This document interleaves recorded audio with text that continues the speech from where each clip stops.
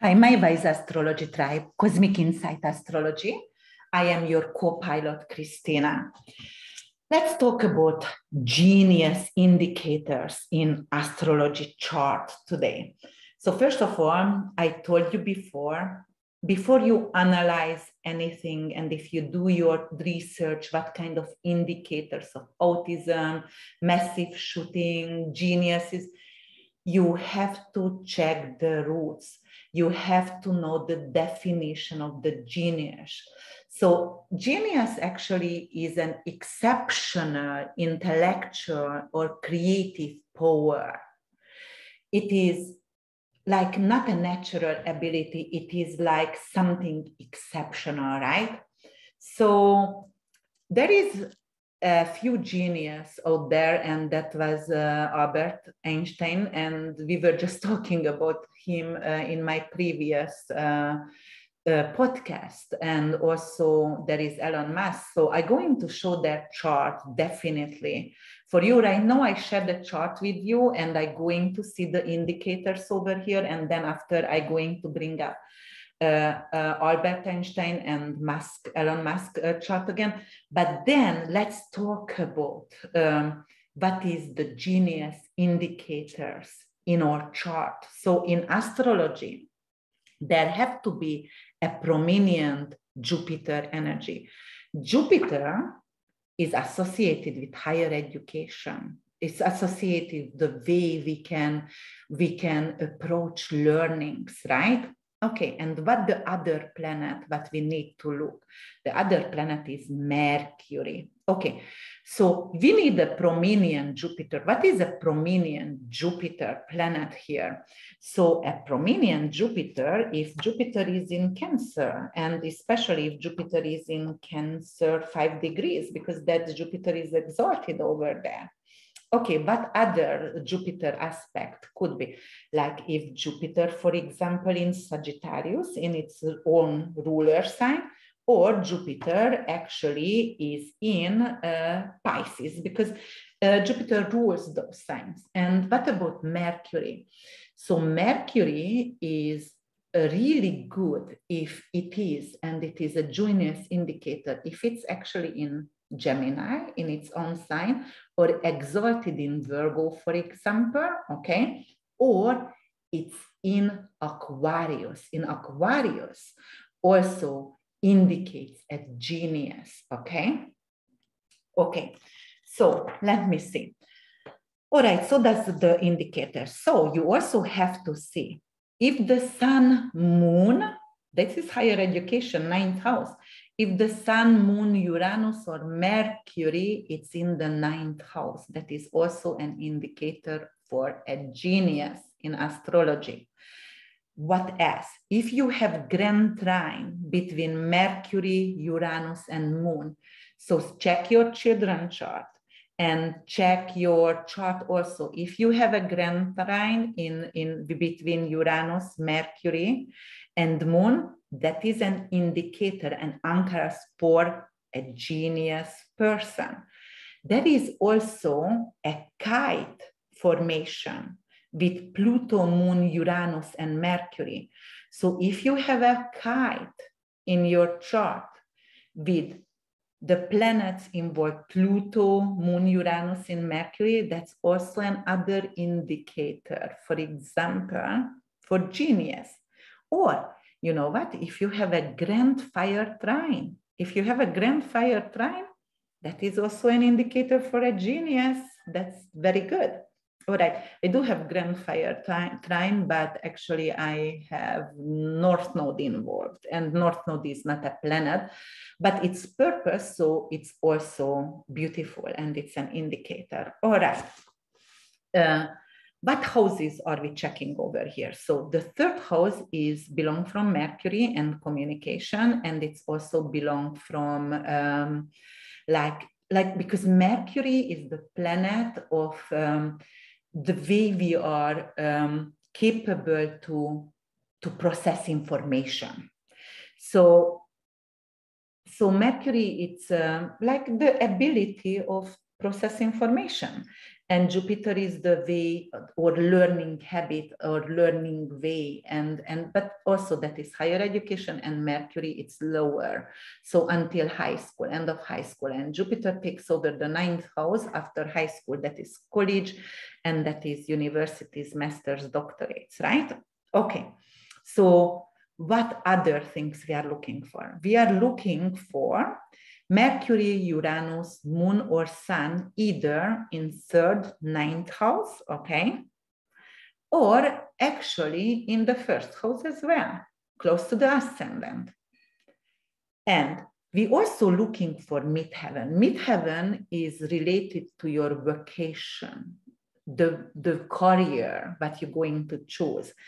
And um, if you have either midheaven conjunct with Sun, Uranus, or Mercury, or either with Moon, that is an indicator of what? It's an indicator of genius. Look at that chart. So Mercury is very close to midheaven conjunction. And I know the midheaven is 23 degrees Taurus and the sun 11 degrees Taurus, but it's still a wired conjunction because of the orb of sun is 17. So that's why we, it is, it's considering to be a very wide conjunction. So that is a second indicator. And also, if I, I think I was talking about that, if Mercury is in your third house. So if Mercury is in your third house, that's another indicator or if Mercury is either in Gemini, in own sign, or in Aquarius. Aquarius is really related the neurological system, you know, the way we process information, and it's very, it's nice. Or Uranus and Mercury, actually, if it's conjuncting, it could give you an Asperger, or it could uh, relate to, to autism, but also it could relate to genius people as well. And if, uh, yeah, let me see what others. Oh, Saturn. Yeah, you would be surprised, but Saturn actually could indicate long term memory. So if you have any good Saturn um, uh, aspect in your chart, for example, if Saturn in first house, or uh, yeah, well, Saturn in first house could be a lot of um, issue with your teeth, with your joint. Uh, it could uh, mean like a very tall person, first of all, and quickly uh, grow and then have some kind of arthritis later on. But we are talking about geniuses right now. So I'm not going to talk about that kind of aspect of Saturn. But if Saturn, Saturn is long-term memory, and if it's going to actually trine or conjunct with Mercury, it could give you a long-term memory, a very good long-term memory. And, you know, like for example, if you have Saturn and Mercury, then even if you get old, very old, you're not going to lose the your your capability to remember. So so that is a good indicator also not to have Alzheimer or not to have dementia, right? All right, but if Saturn have any good aspect with Uranus or any good aspect with Mercury, first of all, but also if Saturn has a trine or sextile with Sun, but only if the Sun is well aspected. So if the Sun is in ninth house, it's already a significator of a genius. And if it's aspected nicely to Saturn, that is, it's a long-term memory as well or it's a high position, for example, high social status somewhere in government or, or something like that. Okay, and uh, uh, so if Mercury and Mars aspected well, then it could be something like, all right, I process information very fast and it's easy for me to learn. So look at this chart over here. Mars is seven degree, right?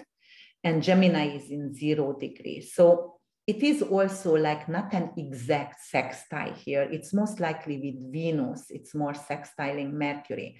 But because Venus and Mars is conjunct over here, so, and then it's sextile anyway with Mercury, it is the processing information is very easy. So this person over here, it's very easy to learn, very easy to study. So this person over here, uh, has different and a lot of indicators, right? So Saturn, long-term memory with Sun. And because of Sun in ninth house, it is the indicator of geniuses. There is a genius sign over here. All right, what else? Uh, let's see, like Mercury is in Gemini, an other indicator. Does it aspect midheaven? Yes, it's conjunct with midheaven. Does Sun yes, it is a very wide conjunction, barely a conjunction. It still does. Fourth indicator over here. All right, let me see. Jupiter in Aquarius. Jupiter is the way of processing data.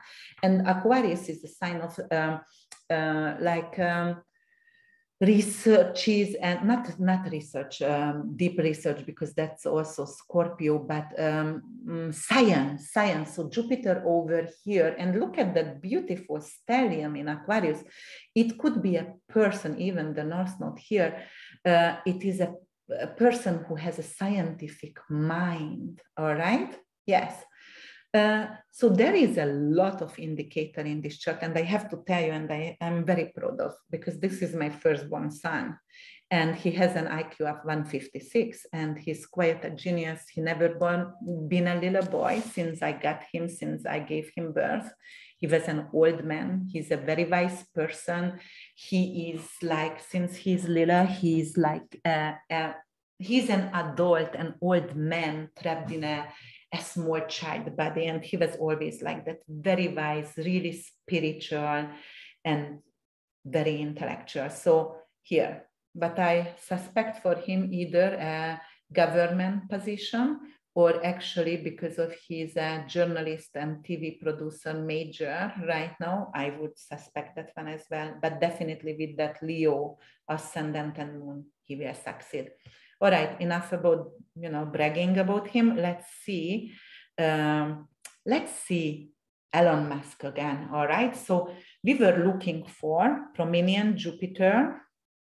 Uh, let's see if Jupiter is prominent. It is in Scorpio and Scorpio is really deep understanding Jupiter. It's expanding the depth of his understanding right so and and that's his it means like he's it doesn't only means he's very foggy and he was misunderstood but also he's very very intuitive person look at that jupiter and neptune conjunction he's extremely extremely uh, in um, um, intuitive and look at Jupiter, not Jupiter, Neptune in Sagittarius. Neptune in Sagittarius representing uh, like uh, he's a giving person. So he's uh, he, he's just like like he's truly have a good heart, I believe so. Yes. All right, what are other indicators? We said uh, either Mercury is conjuncting with Saturn or or um, or Saturn in in actually Gemini. Gemini ruled by Mercury, so that is another indicator to have a really good long-term memory right? The long-term memory is good, but you see, the speech was delayed and it was fogginess and, and it was very hard for early childhood. Early childhood was difficult to learn, but later on it's not. Okay. What are the other indicators? Mars, if he has something like either Mars is related to Mercury uh, or related to Uranus, but Mars actually in Aquarius, Aquarius ruled by Uranus, so he is a quick thinker, and uh, because of uh, he's an initiator of everything scientific base. And look at South Node over there, uh, North Node over there, so that he's an initiator. Anything what is uh, uh, um, yes, what I was talking about before. Look at here. Uranus is also the, the nervous system and also the higher brain. So Saturn, long-term memory, right? Pluto, doing researches, deeply going deeply doing researches. Okay, what other indicators do we have? Um, actually, in this chart, I don't see a lot of other indicators. Let me see if he has a grand, uh, no, let me see, no fire. So grand trine between Mercury, Uranus, Moon, uh, Uranus, Mercury, no. Actually, it's a square. So not that. Okay, let's see then Einstein, if he has any other indicator. Oh yes, look at that. Einstein definitely is a genius. So look, midheaven and sun in, in um, actually in uh, Pisces and the white conjunction, just like my son has, but definitely that is a genius indicator. Okay, uh, let me see. Capricorn Mars, that is exalted over here. And if Mars is in good position, uh, it is exalted in Capricorn, that is giving an, a, thick, uh, a quick thinker. And uh, look at that, does it make any, yes, it is actually uh, Mercury. Is it sextiling? No, actually it's sextiling with the sun and midheaven conjunction. So that is another indicator over here.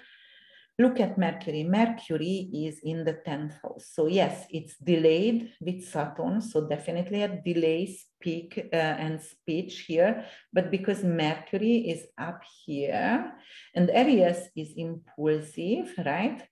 And Mercury has a good aspect with the moon. So that is another indicator here as well. And let me see if he has grand trine. So moon and Mercury is there. It's, it's trining. Does he has anything with Leo? No, nothing with Leo over here. Okay, so he also doesn't have the grand trine in fire, but he has a moon and Mercury trine, which could be another indicator. The depth of knowledge, the depth of science is representing by Jupiter. So he's researching, he, he has a lot of deep thinking over here. So that is definitely an indicator here. And you see Mars and North Node. So both of them had Mars and North Node actually conjuncting. Elon Musk had as well, and he has as well. Both of them has Jupiter in eighth house, not in Aquarius both, but so, so the depth of researching is very important for them. Let me see Uranus because Uranus is also an indicator over here. Does Uranus do anything with us? So Uranus actually trine with Neptune. Okay, uh, what does it mean? So Neptune is uh, connected with the divine and Uranus is like, like very, very unusual thinker and very unusual person uh, oh no, Uranus actually trining with, yes, with Neptune. Yeah, I was confused a little bit. Okay, so unusual thinker, uh, he's thinking uh, outside of the box. He actually has communication maybe with aliens or maybe with spirit world. So he also probably tried to communicate with spirit, just like Tesla. Oh, I didn't bring up Tesla's chart, but next time probably it would be very interesting what he had. But those are the indicators, guys. And you see, look, pot of fortune, Mercury also, pot of fortune, where do you find your pot of gold? Where do you, and it is in his 10th house. So it is like uh, anything Mercury related, anything brain related, right? And research related. Okay, so that is the indicators of uh, the geniuses over here. You know, I was talking about that. What can you do to enrich, uh, for example, your genius within in astrology? So you have to make sure your Jupiter, if it's affected badly, uh, you're going to do a remedy for your Jupiter and you're going to do a remedy for your Mercury. And as I said before, Jupiter is associated with Sagittarius and Pisces, and Jupiter uh, has, uh, you know, it has a very creative vision. Um, you can actually use any kind of lapis lazuli or yellow topaz uh, to, to work with, or you can drink Jupiterian uh, teas, the dandelion milk, the you can actually um, have figs and eat figs and sage the hose or drink sage tea, um, ginger, any kind of frankincense, uh, frankincense. You can drink those kind of golden milk, what would be a really Jupiterian uh, drink, and you can enrich that You can do the cinnamon sweeping, which is like you put cinnamon all, over on your floor and you sweep it, and that is a Jupiterian energy.